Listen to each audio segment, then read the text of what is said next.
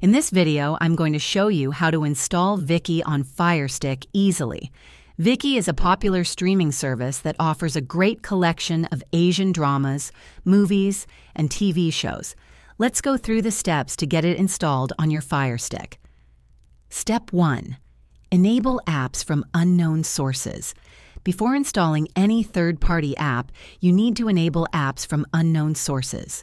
On your Fire Stick home screen, go to Settings. Select My Fire TV. Choose Developer Options. Toggle on apps from unknown sources and confirm by clicking Turn On. Step 2. Install Downloader app.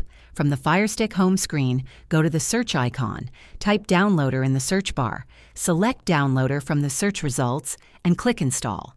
Step 3. Download the Viki APK. Open the Downloader app once installed. In the URL field, type in the download link for Viki APK. Make sure to use a trusted source. Click Go, and the APK will start downloading. Step 4. Install the Viki app. Once the APK download is complete, you will see an option to install the Viki app. Click Install and wait for the installation process to finish. Step 5.